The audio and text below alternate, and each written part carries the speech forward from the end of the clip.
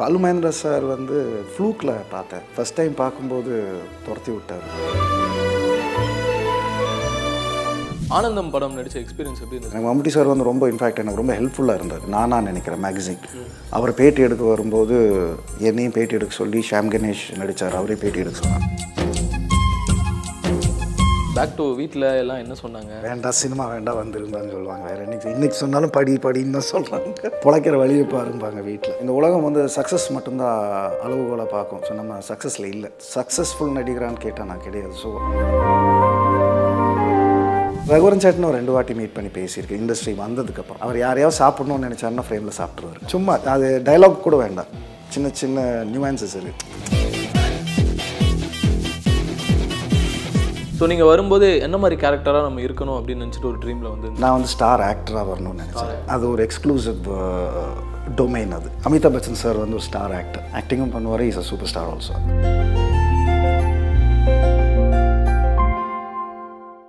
நிக்காம கூடவே தொடர்ந்து பாருங்க. இருபத்தி நாலு மணி நேரமும் டிஸ்னி பிளஸ் ஹாட் ஸ்டாரில் ஓகே வணக்கம் சார் எப்படி இருக்கீங்க? வணக்கம். அப்படியே தான் இருக்கேன். ரெண்டு கை காலோடு தான் இருக்கிறேன். இப்போ ரொம்ப ஹாப்பி உங்களை இன்டர்வியூ பண்ணுறதுல ஆனால் நிறையா படங்களில் பார்த்துருக்கோம் உங்களை. நிறையா கேரக்டர்ஸில் விதவிதமாக இப்போ ஒன் வே படம் இந்த படம் வந்து திரும்ப ரிலீஸ் ஆகுது. இந்த படம் ரொம்ப நாளுக்கு அப்புறம் உங்கள் படம் ரிலீஸ் ஆகுது. எவ்வளோ ஸ்பெஷலாக ஃபீல் பண்ணுறீங்க உண்மை உண்மையில சொல்ல போனால் மூணு வருஷம் ஆச்சுன்னு நினைக்கிறேன். என் படம் ரிலீஸ் ஆகி. யாழ் யாழுக்கு அப்புறம் ஒரு படம் பாரதபுரம். அதுக்கப்புறம் இந்த த்ரீ இயர்ஸ் ஏன்னா டூ கிட்டத்தட்ட டூ இயர்ஸ் கொரோனாலே போயிடுச்சு கொரோனா முடிஞ்சு one year so after three years புனர்ஜென்மம் மாதிரின்னு சொல்லலாம். மறுபடியும் ஒரு பேர்த்து ஒரு ரவுண்டு வர்றதுக்கு. இந்த நடுவில் கொஞ்சம் மலையாளம் போயிட்டு வந்தேன். மலையாளம் இண்டஸ்ட்ரிக்கு போயிட்டு வந்திருந்தேன். ஸோ அதனால் yes should be very happy ஏன்னா இந்த படம் இந்த படத்தில் கொஞ்சம் ரிஸ்க் எடுத்து பண்ணியிருக்கிறேன். தெரியாத பாஷை ஒரு ஒரு பாஷை யூஸ் பண்ணியிருக்கேன் பேசியிருக்கேன் அதில். அதனால தான் பார்த்தோம் ட்ரெய்லரும் வந்து சூப்பராக இருந்தது. அதுவும் நீங்கள் யாரையோ தூங்கும்போது தலையில் கல்லெடுத்து போடுற சீன்லாம் வந்து செம்மையாக இருந்துச்சு. ஸோ எப்படி இருந்தது சார் அந்த ஷூட்டிங் எக்ஸ்பீரியன்ஸ் இல்லை ஷூட்டிங் எக்ஸ்பீரியன்ஸ் வந்து உண்மையிலே சொன்னோம்னா இந்த படம் வந்து எனக்கு அவர் நண்பர் ஆக்சுவலி எனக்கு பார்க்காத நண்பர். அவருக்கு என்ன ஆமாம் எனக்கு அவரை தெரியும் அவருக்கு என்ன தெரியும். ஆனால் இன்னார் தான் அவருன்னு தெரியாது. அப்படி இருக்கும்போது வேற ஒரு நண்பர் மூலமாக பார்த்தோம். அப்போ பார்த்தோன்னே ஃபஸ்ட்டு கேரக்டர் இல்லைன்னு சொல்லிட்டார் இந்த படத்தில். அதுக்கப்புறம் டக்குன்னு பார்த்துட்டு இல்லை ஒரு கேரக்டர் நீங்கள் தான் பண்ணணும் அப்படின்னு சொல்லி சொன்னார். அந்த கேரக்டர் என்னென்னா அது ஒரு ட்ரக் அடிக்ட் கேரக்டர் ஒரு ஜங்கி அது. ஸோ அதனால் அவன் இங்கேருந்து வெளிநாடு போகணும்னு சொல்லிட்டு பாம்பே வந்து செட்டில் ஆகிற ஒரு கேரக்டர் அங்கே அவனுக்கு என்ன நடக்குதுங்கிறது தான் அது. ஹீரோட கேரக்டர் வேறு.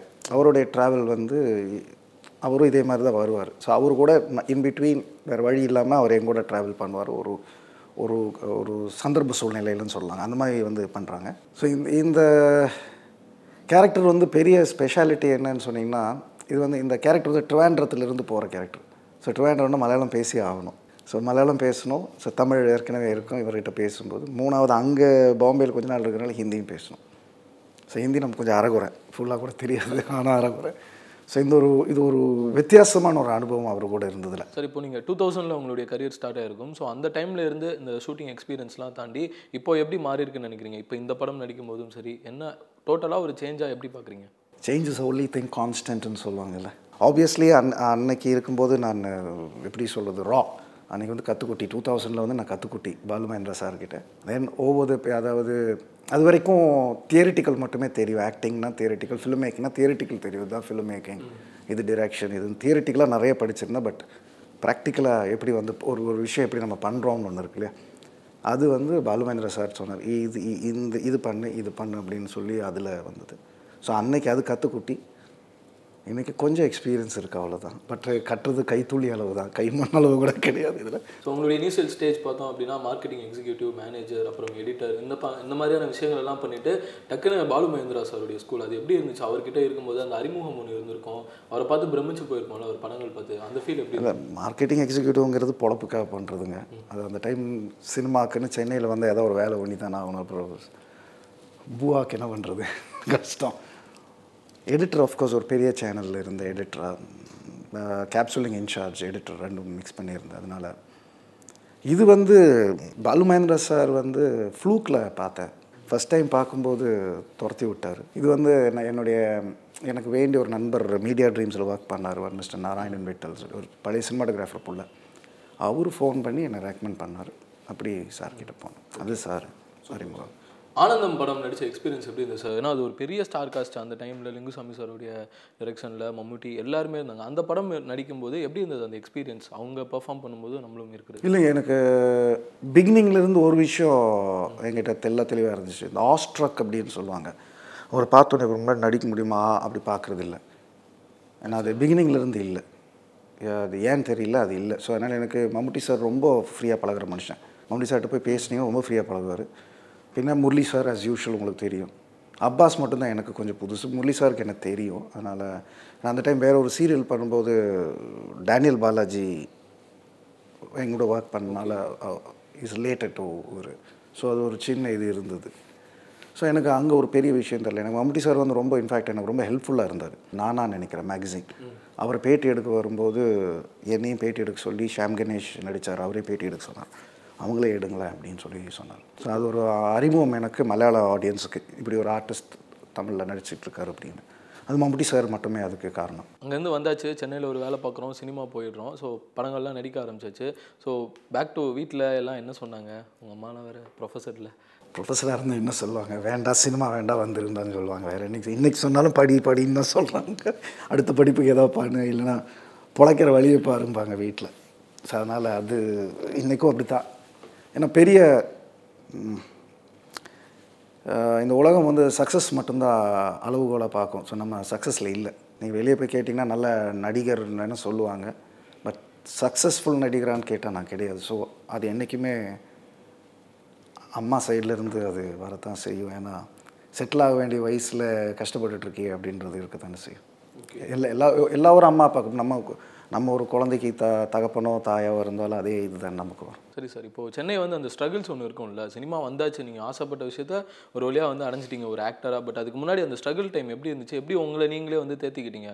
சான்ஸ் கிடைக்கும் அப்படின்றதுல. தெரியலிங்க அது உண்மையில் இன்ஃபேக்ட் நான் கிடைக்கலன்னா என்ன பண்ணுவேன்ற கூட தெரியல அதெல்லாம் எனக்கு உண்மையை யோசிக்கல. ஒரு அன்னைக்கு ஒரு கான்ஃபிடென்ஸ் ஒன்று இருந்தது. இன்றைக்கில நாளைக்கு வருவேன் அப்படிங்கிற கான்ஃபிடென்ஸ் இருந்தது. பட் நீங்கள் சொல்கிற ஸ்ட்ரகிள் இப்போ கூட தான் இருக்குது கொஞ்சம் வேறு விதத்தில் இருக்குது அவ்வளோதான் ஸோ அதனால் ஸ்ட்ரகிள் ஸ்டில் அது நீங்கள் எவ்வளோ பெரிய சூப்பர் ஸ்டார் ஆனாலும் அதை தக்க வச்சுக்க வேண்டிய ஒரு ஸ்ட்ரகிள் என்றைக்கும் அது எவ்ரிவே அந்த struggle is always the struggle இல்லாத வாழ்க்கையே கிடையாது. அஸ்தமனம் ஆகிடும் ஸோ அதனால் இல்லை எஸ் அதுதான். என்ன பண்ணுறது இட்ஸ் பார்ட் ஆஃப் லைஃப்பில் ஓகே நீங்கள் சொன்னீங்கல்ல நான் நல்ல நடிகர் அப்படின்னு நிறைய பேர் சொல்லுவாங்க பட் நான் வந்து சக்ஸஸ்ஃபுல் ஆக்டரான்னு கேட்டால் இல்லை நீங்கள் அது உங்களுக்கே தெரிய ஆரம்பிச்சப்போ நீங்கள் அதை மாற்றிக்கணும் அப்படின்னு அதுக்கான ட்ரை பண்ணீங்களா? இல்லை காம்ப்ரமைஸ் பண்ண முடியல. என்ன ரீசன் முடியல. அது சி ஒரு சில மனிதனுக்கு ஒரு சில நேச்சர் இருக்குது அந்த நேச்சர் நீங்கள் எப்படி மாற்றுவீங்க எனக்குன்னு ஒரு நேச்சர் பை பர்த் ஒரு நேச்சர் இருக்குது ஸோ அந்த நேச்சர் அது இங்கே மிஸ்ஃபிட்டாக இருக்குது அவ்வளோதான் அந்த அந்த நேச்சர் இங்கே மிஸ்ஃபிட் அது அதுக்காக அது தப்பான நேச்சர்னு சொல்ல அது எந்த இடத்துல நம்ம அது பிரயோகிக்கணுமோ முடியல. ஸோ நான் நானாக இருக்கிறேன் அவ்வளோதான் சினிமாக்கான வாய்ப்பு அப்படின்றது எல்லாருமே வந்து கஷ்டப்பட்டு தான் வந்திருப்பாங்க. பட் இப்போ இருக்கக்கூடிய காலகட்டத்தில் பார்த்தோன்னா சோஷியல் மீடியா இருக்குது ஷார்ட் ஃபிலிம்ஸ் பண்ணிட்டு வருவாங்க. இந்த மாதிரி சான்சஸ் கேட்குறது கொஞ்சம் அந்த ட்ராக் வந்து ஈஸியான ஒன்று இருக்கும். முன்னாடி ரெஃபரன்ஸ் எடுத்துக்காரு. அந்த டைமில் எப்படி சான்ஸ் கேட்பீங்க? ஒவ்வொரு ஆஃபீஸாக போகிறது எஸ் அந்த டைம் வந்து எங்களுக்கு ஒரு டீம் இருந்தோம். நாங்கள் ஒரு அஞ்சு ஆறு பேர் ஏழு பேர் இருந்தோம். ஸோ அதில் ஒருத்தருக்கு வந்து ஒரு கம்பெனி தெரியும் அப்படின்னா கூட வந்து இல்லை அங்கே ஒரு கம்பெனி இருக்குது அப்படின்னா நாங்களும் ஒன்றா போவோம். ஸோ அப்போ அந்த டைமில் தெரியும். அதில் நிறைய நீங்கள் சொல்கிற அந்த இண்டஸ்ட்ரியோடைய ஒரு ஒரு ஒரு- டெர்மினாலஜி இருக்குது உப்மா கம்பெனிம்பாங்க அந்த மாதிரி நிறைய உப்மா கம்பெனி கூட போயிருக்கோம். ஆனால் ஏதோ ஒரு நம்பிக்கையில் தான் போயிருக்கோம். போயிருக்கு. எல்லாரும் எல்லாருமே அந்த ஒரு ஆறு ஏழு பேர் நாங்கள் இருந்தோம். அந்த ஏழு பேர் ஒன்றா தான் அந்த டைமில் at least fifty to eighty percent அந்த கம்பெனி போகிறது வந்து ஒன்றா தான் போயிருக்கிறோம். சினிமா இல்லாமல் நீங்கள் ஒர்க் பண்ணி பேலன்ஸ் பண்ணிட்டு இருந்தீங்க சர்வைவலுக்கு அந்த டைம் ஒர்க் இல்லைங்க. நான் நான் சொல்லணேன் ஒர்க் மூடு ஒர்க் ஒர்க் வந்து ஃபுல் அண்ட் ஃபுல் சினிமாக்குள்ளே வரும்போதுக்கு ஒர்க் இல்லை. ஒர்க் இல்லை ஒரு ரெண்டு வருஷம் சுத்தமாக வேலை கிடையாது. நான் ஒர்க் பண்ண சேனலும் க்ளோஸ் டவுன் பண்ணாங்க அந்த டைமில் ஸோ எதுவுமே இல்லாமல் நிராயுதபாணியாக நின்றுட்டுருக்கிற டைம் வீட்லேயும் நீங்கள் எதுவும் கேட்கல கேட்க கேட்கல கேட்கல. என்ன ரீசன் உங்களுக்கு ரொம்ப பிடிச்ச சினிமா அப்படின்றதுனால கேட்க வேணாம் இல்லை எனக்கு என்கிட்ட ஒரு நேச் என்னுடைய நேச்சர் என்னென்னா யாரையும் தேவையில்லாமல் தொந்தரவு பண்ணக்கூடாதுன்னு நினைக்கிறேன். தேவையே இல்லைப்பா இது நம்ம முடிஞ்சால் நம்ம ஹேண்டில் பண்ண முடியும்னா தொந்தரவு பண்ண வேண்டாம். யார் அம்மா அப்பா இருந்தாலும் சரி கேட்க மாட்டேன். முடிஞ்ச அளவுக்கு நானே என்னை ஹேண்டில் பண்ணிக்கிறதுக்கு. அன்னைக்கு சில நண்பர்கள் இருந்தாங்க கொஞ்சம் ஹெல்ப் பண்ணுறதுக்கு ஸ்டே ஒருத்தர் கொஞ்ச நாள் பார்த்துக்கிட்டாரு. சாப்பாடு இன்னொருத்தர் அவன் கூட இருந்து இன்னொருத்தர் பார்த்துட்டு அது இவ்வளோ தானே வருது வச்சுக்கோ. ஒரு பிடி நாங்கள் சமைக்கிறோம் அதில் ஒரு பிடி தானே சாப்பிடு ஸோ கொஞ்சம் ஹெல்ப் அங்கே இங்கே இருந்தது. வேறு சில நண்பர்கள் வேறு சில மாதிரி உதவிகள்லாம் பண்ணாங்க. அதில் இல்லைன்னு சொல்லலை. படம் நடிக்க ஆரம்பிச்சதுக்கு அப்புறமா அப்பயும் இந்த சர்வைவல் ப்ராப்ளம் இருந்துச்சா? இல்லை ஓகே தானே? அப்போ வந்து ரெவன்யூ இல்லை இல்லை ஒரு பீரியடு டு பி ஃப்ரேங்க் நான் இப்போ சொல்ல அந்த சமீப கால காலத்தில் சர்வைவல் மறுபடியும் பேக் டு ஸ்கொயரே மாதிரி தான் இருக்குது அதுக்கு முன்னாடி வரைக்கும் நார்மலாக இருந்தது. டுவெண்ட்டி ஃபோர்டீனுக்கு இந்த பக்கம் கொஞ்சம் லேக் ஆகிற மாதிரி இருந்தது. டிச் மாதிரி ஆனதுனால கொஞ்சம் லேக்ஸ் இருந்தது அப்படின்னு சரி ஓகே. உங்களுக்கு வந்து ரகுவரன் சார் ஒரு பெரிய இன்ஸ்பிரேஷன் அப்படின்னு கேள்விப்பட்டிருக்கிறோம். இல்லை ரெண்டு பேர் இன்ஸ்பிரேஷனில் அவர் ஒருத்தர் சேட்டன் ஒருத்தர் யா அமிதாப் பச்சன் சார் அப்புறம் ரகுவரன் அவர்கள். ஸோ அவங்களுடைய தாக்கம் ஒன்று இருக்கும்ல அவங்கள பார்த்து நம்ம அவங்க பெர்ஃபார்மன்ஸ் பார்த்து வளர்ந்துருப்போம் ஒரு ஆசை இருந்திருக்கும். நம்ம ஃபேஸ் கூட லைட்டாக அவங்கள ரிசம்பிள் பண்ணுது அப்படின்னு நிறைய பேர் சொல்லியிருக்கலாம். இல்லை அப்படி உசுப்பேத்தி தான் இங்கே வந்தது. அதனால் விட்டுருங்க அது சொல்லியிருக்கலாம்ல. அப்படி உசுப்பேத்தி தான் வந்தது அதனால் அது ஒன்றும் இல்லை. இல்லை த ரகுவரன் சேட்டன் ஒரு ரெண்டு வாட்டி மீட் பண்ணி பேசியிருக்கேன் இண்டஸ்ட்ரி வந்ததுக்கப்புறம். அதுக்கு முன்னாடி ஊரில் சின்ன பையனாக இருக்கும்போது தெரியும். அவருக்கு ஞாபகம் இருக்காது. நான் அப்போ ரொம்ப சின்ன பையன் அது.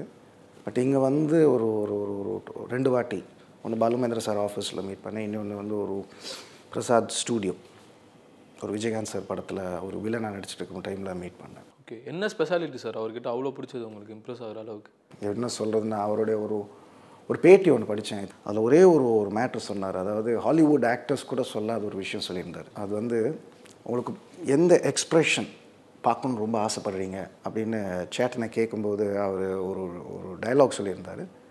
அதாவது நீல் ஆம்ஸ்ட்ராங் வந்து மூணில் கால் எடுத்து வைக்கும்போது ஒரு ஒரு உணர்ச்சி இருந்திருக்கும்ல அது பார்க்கணுன்னு ஆசைப்பட்றேன் அப்படின்னு. அது ஹாலிவுட்டில் கூட எந்த ஆக்டரோ சொல்லலை. நீ நீங்கள் டஸ்டின் ஆஃப் மேனாக இருந்தாலும் டிமீரோவாக இருந்தாலும் பிராண்டோ சாராக இருந்தாலும் யாரோ அது சொல்லலை. ஸோ அப்போது அவருடைய தேடல் அவருடைய தேடல் என்ன அப்படிங்கிறது வெரி இன்டென்ஸ் பர்சனாலிட்டி ரொம்ப இன்டென்ஸான பர்சனாலிட்டி நேரில் அவ்வளோ பேச மாட்டார். ரொம்ப அமைதியாக இருப்பார். இன்ட்ரோவர்ட்டாக இருப்பார்.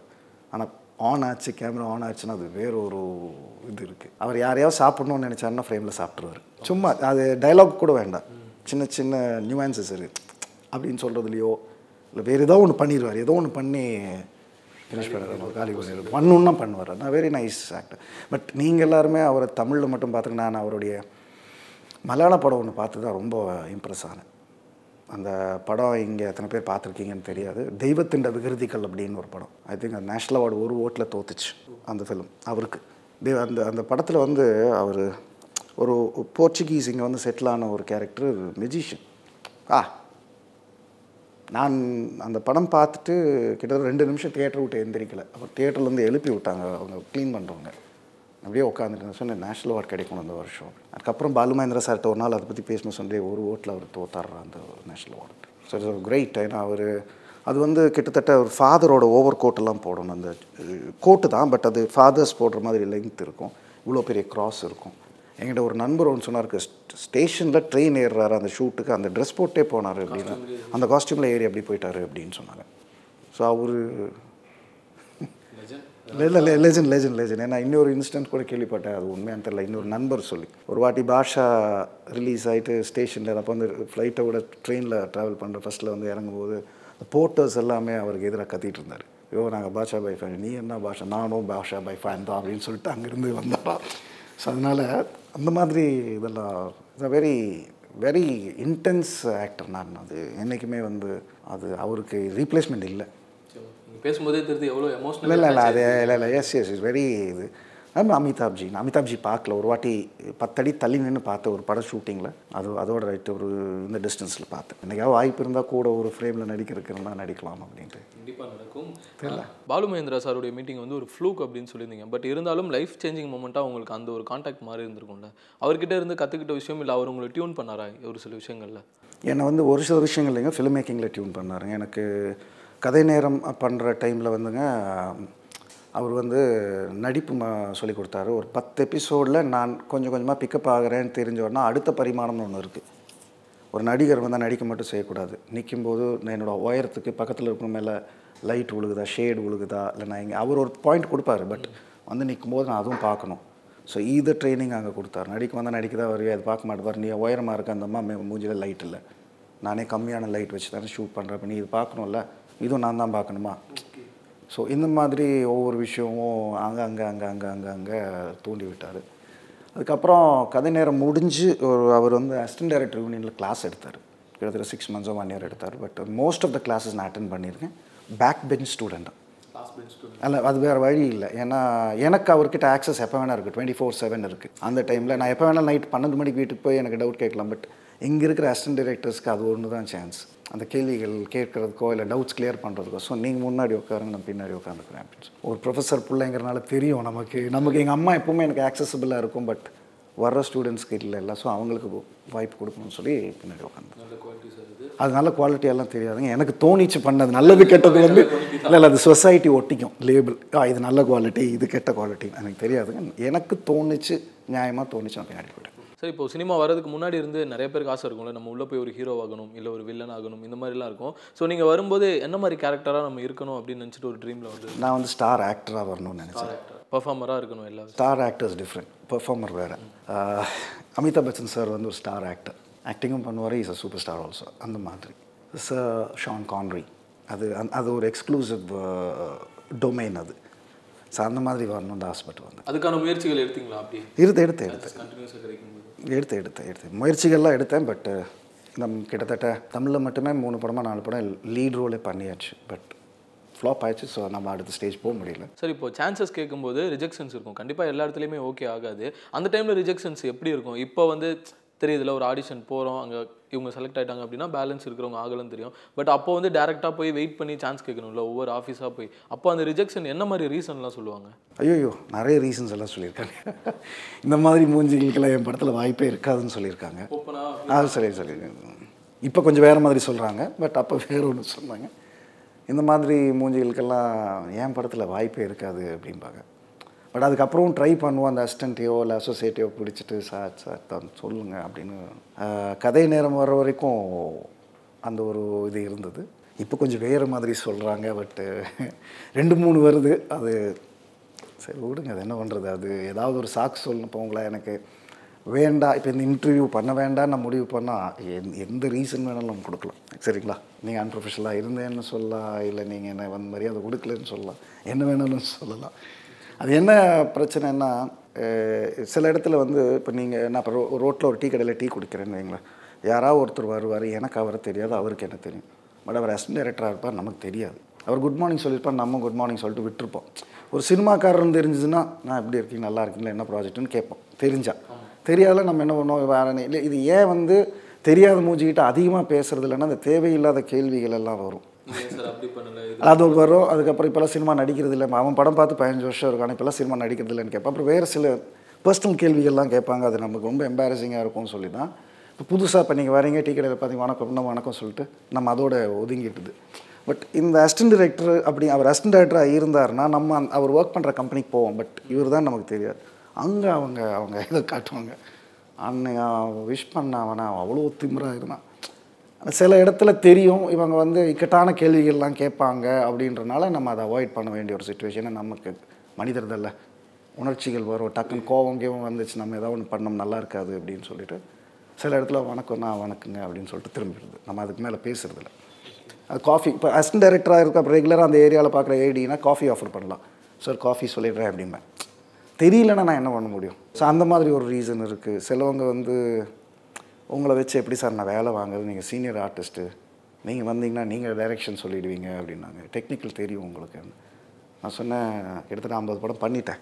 எந்த டைரக்டர்கிட்டையாவது நீங்கள் போய் விசாரிச்சுக்கோங்க. நான் மானிட்டர் கூட நான் பார்த்தது கிடையாது. ஃப்ரேம் கூட கேட்டது கிடையாது. சினிமாட்டோகிராஃபர்கிட்ட கேட்பேன். யூஸ் பண்ணிக்கலாமா? யூஸ் பண்ணிக்கலாம். இந்த இது வரைக்கும் போகலாமா இது வரைக்கும் போகலாமா அப்படின்னு கேட்டுப்பேன் முடியும் எட்டி பார்த்துல மணி சார் வந்து கணத்தில் மூத்தமிட்டால் பண்ணும்போது வந்து பாருன்னு சொன்னார். இல்லை sir it's okay with it's okay with me sir அப்படின்னு. ஏன்னா அவருடைய படம் அது. நான் வந்து இந்த மரம் இந்த கலரில் இருக்கணும்னு அவருக்கு தெரியும். இந்த ஒரு பெயிண்டிங்கில் இந்த ஆப்ஜெக்ட் இந்த கலரில் இருக்கணும் இப்படி தான் இருக்கணும் அது அவருக்கு தான் தெரியும். அவருக்கு அது ஓகேன்னா அதுக்கப்புறம் எனக்கு அதில் என்ன இருக்குது அப்படின்னு அதனால நான் நான் அந்த இது பண்ணதே கிடையாதுன்னா பட் நம்பலை. நிறைய பேர் இன்றைக்கும் அதை நம்ப மாட்டேங்கிறாங்க. உள்ள அதில் ரெஜிஸ்டர் அது அது ரெண்டு மூணு காரணம் இருக்கலாம். அவங்களுக்கு வேண்டிய ஆளை நடிக்க வைக்கிறதுக்கு இப்படி ஏதோ ஒன்று சொல்லியிருக்கலாம். தெரியாது. கன்னத்தில் முத்தமிட்டால் இந்த படம் எக்ஸ்பீரியன்ஸே எப்படி இருந்தது? அதில் நிறைய லேர்ன் பண்ணுறதுக்கான ஆப்ஷன்ஸ் இருக்கும்ல மணி சார் படம் அப்படின்னா. ஸோ நிறைய ஆக்டர்ஸ் சொல்லியிருக்காங்க மணி சார் ஸ்கூலில் இருக்கும்போது ஒவ்வொரு விஷயமே கற்றுக்கலாம் அவர் வந்து நம்மளை பர்ஃபெக்டாக டியூன் பண்ணுவார். அந்த ஷாட் ஓகே ஆகுற வரைக்கும் அப்படின்ட்டு. ஸோ எப்படி இருந்துச்சு அந்த பீரியடில் இல்லை எனக்கு வந்து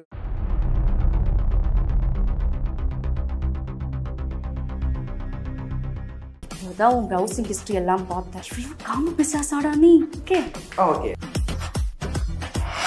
ஃபோனை கொஞ்சம் கொடுத்தீங்கன்னா நல்லாயிருக்கும். ஸோ ஆமாம் நானும் என் ஃபோனை கொடுத்துட்றேன். ஒரு சில விஷயங்கள் மட்டும் ஆமாம்